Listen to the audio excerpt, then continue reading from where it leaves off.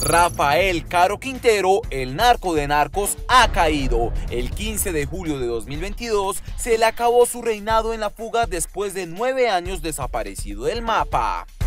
Pero ¿qué se esconde tras uno de los narcos que inició un legado de sangre, drogas, corrupción y la más alta recompensa de la historia del mundo narco? Este es un contenido netamente periodístico e informativo y no expresa posición alguna de Impacto Mundo frente al mismo. Con la captura de Rafael Caro Quintero se inició un nuevo episodio en el mundo del narcotráfico. O más bien en este caso se cerró porque este narcotraficante fue perseguido por nueve años tras prácticamente eh, un error jurídico. En este caso estamos con Anabel Hernández, una periodista de alto nivel, que nos va a aclarar un poco más acerca de lo que sucedió con Caro Quintero. ¿Cómo estás, Anabel? ¿Qué tal? ¿Cómo está? Gusto saludarlo y gusto saludar a su auditorio. Anabel, la primera pregunta que tengo acerca de este caso es, ¿qué representa la captura de Rafael Caro Quintero para México y los Estados Unidos? Yo creo que es un asunto que todavía no es claro realmente. Eh, el señor Rafael Caro Quintero fue uno de los narcotraficantes. En aquella época era líder del cártel de Guadalajara, que es en realidad la primera estructura criminal importante, grande, estructurada, creada en México en aquella época.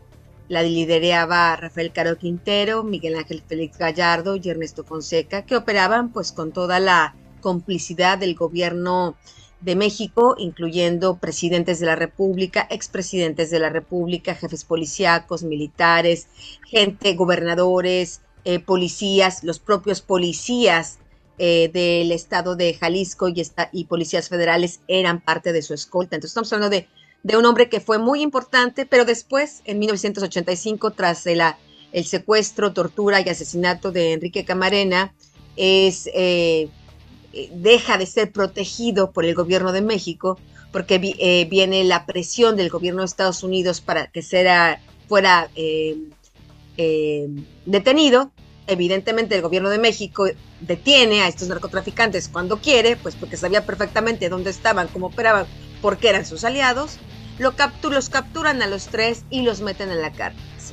Eh, Caro Quintero pasa más de 28 años, casi 29 años en prisión y después, como usted señala, un juez ordena su liberación por fallas en el debido proceso y viene ahí la gran incógnita. De si en esos nueve años que Rafael Caro Quintero estuvo prófugo de la justicia, si realmente entró, se reinsertó al mundo criminal al nivel que dice el gobierno de México o Estados Unidos o quedó simplemente como un cartucho quemado. ¿Considera usted que esta recompensa que puso la DEA de 20 millones de dólares eh, fue algo exagerada para alguien como Rafael Caro Quintero? Dependiendo de qué punto de vista se vea. Y lo sostengo porque como hago, investigaciones periodísticas sobre crimen organizado y tráfico de drogas, no solo sobre México, sino en diversas partes del mundo. Lo que le puedo decir es que la organización, si fuera, si existiese algún tipo de organización de Rafael Caro Quintero, lo que le puedo decir es que es que esta organización no tiene ninguna repercusión a nivel internacional. No significa nada. Usted no puede, si usted comparara, por ejemplo, a lo que es el cártel de Sinaloa con alguna estructura criminal que hubiera podido eh, desarrollar Rafael Caro Quintero es cero, porque el cártel de Sinaloa tiene la presencia en el 60% del planeta. Esas son las operaciones criminales de Ismael Mayo Zambada, no, no, no, no cosas pequeñas. Así que eh, en, en ese sentido, esta captura de 20 millones, pues pareciera exagerada porque incluso cuando se puso esa, recompensa, ni siquiera había esa cantidad de dinero que se estuviera ofreciendo, ni siquiera por la cabeza del de, Mayo Zambada, líder del cártel de Sinaloa, o, de los Chapitos, los hijos del Chapo Guzmán, ni siquiera por Nemesio Ceguera, el Mencho, líder del cártel de, de Jalisco Nueva Generación. Entonces, en ese sentido, sí es exagerada, pero no es exagerada en otro sentido, de que es de que el gobierno de Estados Unidos, de manera obsesiva, casi pues, em, pues sin perdón ni olvido, querían recapturar a Rafael Caro Quintero por el terrible homicidio ocurrido con el agente Camarena. Y ese homicidio fue realmente tan doloso, tan eh, abusivo, a esta persona se le estuvo, estuvo secuestrada y torturada de todas las maneras que la mente pueda imaginar, eh, de manera terrible durante varias horas. Y fue hasta el final que, lo mataron. Pero realmente lo que ocurrió con este agente de la DEA el primero que muere en estas circunstancias en, México, el primero y el último, porque ninguno otro ha muerto en estas circunstancias en México, pues marcó una historia de un antes y un después. Y entonces en, esa, en, esa, en ese nivel, pues sí, yo pienso que unos 20 millones de dólares es, es congruente con, el, con la afrenta hecha por Rafael Caro Quintero y su grupo criminal. Precisamente eh, lo que estás anunciando acá para poderlo dejar muy claro, ¿consideras que la persecución que se lleva a Rafael Caro Quintero es más una venganza por parte de la DEA? Yo en este sentido es lo que le digo. El tema del crimen organizado, el tema de los carteles de la droga, no hay nada totalmente en blanco y negro. En el caso de Rafael Caro Quintero, para mí aún lo digo sinceramente, y eso que lo, fue, lo, fui la única periodista que lo entrevistó durante dos ocasiones cuando él estaba prófuga, lo vi cuatro veces, cuatro de estas, dos, eh, en dos de estas cuatro ocasiones le hice una entrevista a cámara, y lo que le puedo decir es que para mí, al menos entre 2016 y enero de 2018, no es claro si realmente este hombre era el narcotraficante en activo que el gobierno de México y, eh, y el, gobierno de Estados Unidos decían. Así que en esta situación es difícil poder calificar si solo se trata de una venganza o si realmente hay una persecución que justifique esto, porque realmente el señor esté eh, pasando droga a Estados Unidos. ¿Quiénes pueden ser esos enemigos de Rafael Caro Quintero y qué tanto les conviene esta captura? No, yo no quisiera especular porque tenemos que volver a decir lo mismo. Enemigos, primero tendríamos que entender cuál es su papel en el mundo criminal.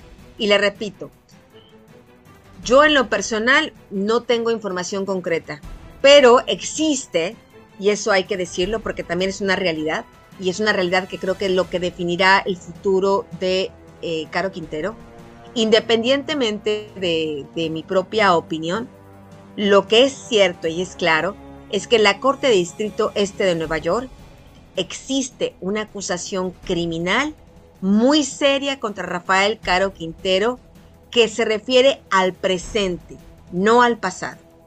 Es una acusación criminal donde se le imputa una empresa criminal continuada. Es decir, según esta, acusación que está en la Corte Distrito Este de Nueva York, desde 1980 hasta al menos 2018-2020, Rafael Caro Quintero nunca habría dejado de estar conectado al mundo criminal y al tráfico de drogas. De acuerdo a esta acusación criminal, e imagino, intuyo, que deben tener algún tipo de información específica, testigos, y ahorita podemos pasar a esa parte si quiere, es que eh, Rafael Caro Quintero crea su propia organización criminal junto con familiares suyos. Uno es Ismael Quintero, que es un sobrino suyo. Y es él y familiares que crean una organización criminal que se supone se llama el Cartel de Caro Quintero. Y es una organización criminal que estaría supuestamente, de acuerdo a esta acusación, traficando eh, marihuana, cocaína, metanfetaminas, eh, eh, y otras drogas ahí a Estados Unidos. De acuerdo a, esta, a, esta, a este expediente, si bien es cierto, señalan que hay cantidades importantes de droga, repito, ni siquiera tomando en cuenta que esta acusación pudiera ser eh, totalmente auténtica, me refiero que realmente haya pruebas específicas sobre esto, no se compararía jamás con las operaciones de Cártel Jalisco Nueva Generación y Cártel Sinaloa, así que en este sentido, los enemigos del, del, Caro Quintero parecía quizá tal vez más, estar más dentro de su propia organización que fuera de esta.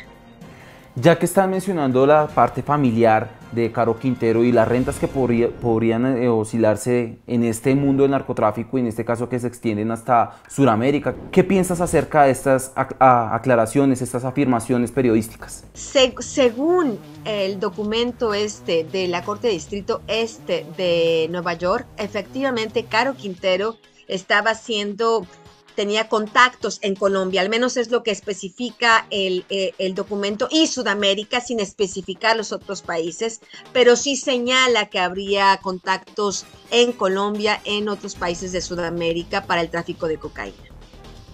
En razón a esta captura también se generó un conflicto entre el gobierno de AMLO y la DEA. Y me indican que pues algunos agentes de la DEA no pueden operar en México. ¿Consideras que esto puede generar algún tipo de ruptura entre el gobierno de México y la DEA. Bueno, hay que tomar en cuenta que la DEA pues es parte del gobierno de Estados Unidos, es una de las agencias del gobierno de Estados Unidos. Es la agencia especializada antinarcóticos, pero no solo la DEA hace operaciones antinarcóticos en México y otras partes del mundo, también la CIA y también el propio FBI. Las tres habitualmente eh, llegan a trabajar conjuntamente para poder hacer estas investigaciones en México y otras partes del mundo. Es evidente que la política eh, de relaciones bilaterales emprendida por el gobierno de, Andrés Manuel López Obrador es, es muy particular en materia del de, gobierno de Estados Unidos. Y justamente, por ejemplo, se está viendo ahora. Ahora hay una disputa eh, entre el gobierno de Canadá, el gobierno de Estados Unidos y el gobierno de México por supuestos incumplimientos al Tratado de Libre Comercio por parte del gobierno de México. Y el gobierno de México pues está muy empecinado de que eh, no va a hacer caso a las protestas de estos dos países, e que irá a tribunales internacionales para defender la soberanía y hegemonía de México. Esa es la postura del presidente. Eh, se lo comento porque esto nos habla de que no es solo una posición sobre la DEA o contra la DEA, en realidad es una posición política de un presidente de esta naturaleza, mix de populista, eh, con una buena parte de, de, conservador y con una buena parte de un hombre que se dice de izquierda. Entonces, es más, me parece, sobre este tipo de cuestiones que independientemente de las cuestiones ideológicas o políticas del presidente, de una u otra manera que se bloquee las operaciones de la DEA y otras agencias de Estados Unidos en materia de investigaciones del narcotráfico en México, permite que muchas organizaciones criminales crezcan, se multipliquen. Porque, en contraparte, el gobierno de México está prácticamente haciendo nada respecto al combate al al crimen organizado, como es mundialmente conocida esta política de abrazos y no balazos. Últimamente también he, leído algunos reportes sobre, por ejemplo, de, la, de, Los Angeles Times, en donde algunos agentes de la DEA, no digo la, la DEA como tal, algunos agentes de la DEA pues prácticamente traicionan a la DEA y venden narcóticos en los Estados Unidos. ¿Qué piensa acerca de esto? Bueno, la verdad es que son asuntos realmente comunes es conocido por, por ejemplo, también hay reportajes, hay investigaciones judiciales en diferentes cortes de Estados Unidos sobre eh, gente de la Border Patrol, que también son los mismos que trafican eh, personas o que trafican drogas. Es imposible, y eso es una cosa de las que yo he hablado en diferentes conferencias que, que después doy en diferentes países del mundo. El narcotráfico, el crimen organizado, el estar eh, en el mercado mundial circulando estas cientos de toneladas de droga en diferentes partes del mundo, para que esto suceda es indispensable la corrupción de autoridades. México hasta este momento ha sido un epicentro de las, de las miradas, del morbo, del, del, escándalo por el nivel de violencia, el nivel de corrupción, el nivel de poder de estas organizaciones criminales pero se deja de ver de que sí, estas organizaciones criminales operan ahí, pero ¿cómo llegan sus drogas a Australia? ¿Cómo llegan sus drogas a Chicago? ¿Cómo llegan sus drogas a Chile? ¿Cómo llegan sus drogas a París, a Roma, a Rusia? Bueno, pues llegan gracias a la complicidad de bancos, de empresarios y de gobiernos. Entonces, esta situación de que haya agentes de la DEA que se corrompan no me sorprende